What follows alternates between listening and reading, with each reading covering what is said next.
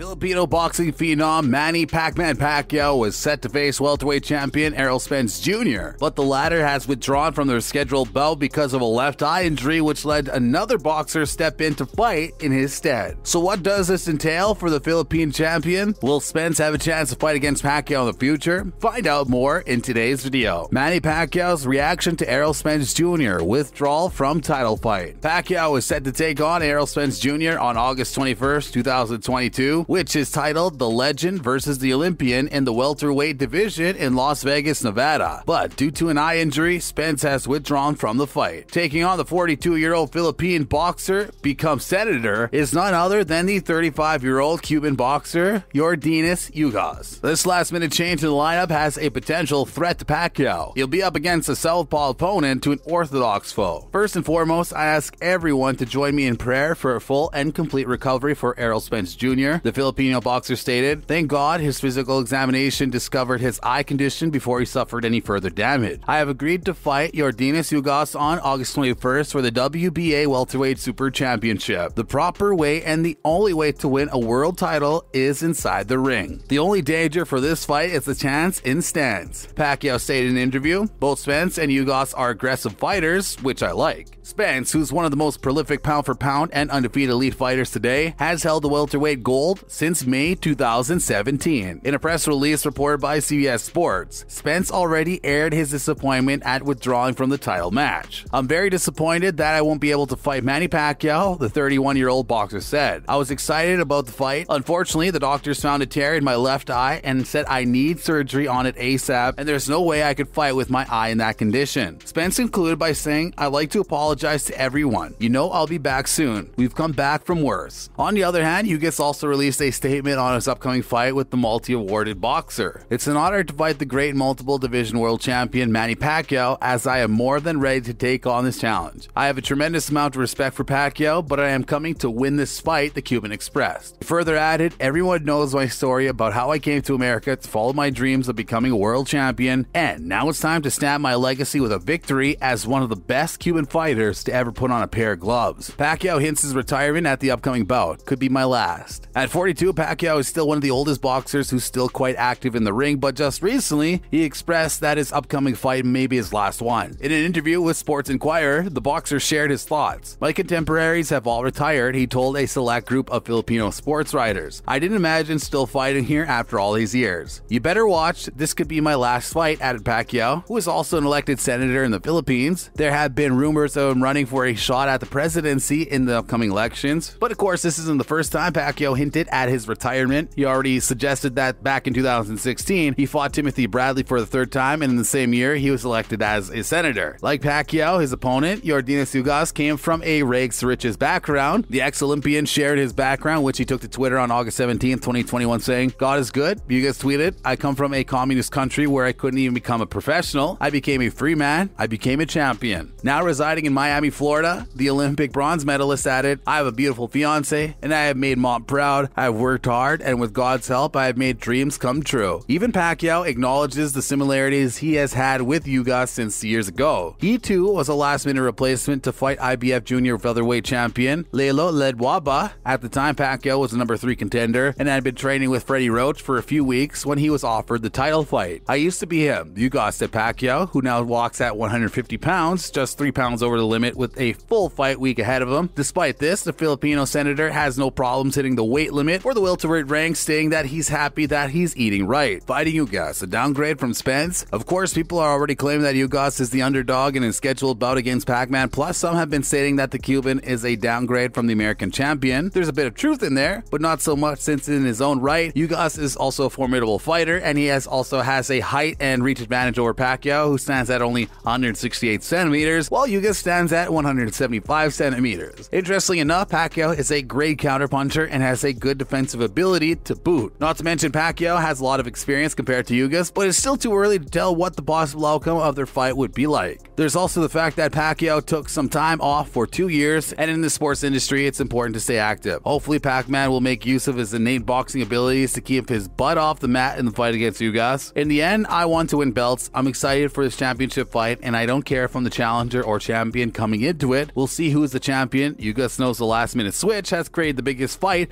of his career, which could be his greatest triumph if he can pull off an upset. I'm fighting for my legacy, Ugas said. This is the most important fight of my life. I'm well aware that Pacquiao is the favorite, but at the same time, I'm a champion. I faced so many strong opponents to get to where I am. I have full confidence in myself and my ability to get a victory. People are still gutting for a Pacquiao versus Spence match. The question is, will it still happen? Folks at TV5 have been discussing the possibility and have shared their thoughts on whether or not their fight will take place in due time. Their panelists consist of Mike Coppinger, Brett Okamoto, and Ben Baby, who expressed their thoughts on the matter. Boxing Insider, Mike Coppinger shared his opinions on whether or not Pacquiao versus Spence will push through after Pacquiao versus Ugas. There's certainly a chance that Pacquiao and Spence can reschedule their title fight down the line, but I wouldn't bet on it. Coppinger commented, if Pacquiao loses to Yordenis Ugas, a very real possibility despite the odds, then the allure of that fight is gone. But win, lose, or draw, it's more than likely Pacquiao calls it a career after Saturday. He turns 43 in December, and he's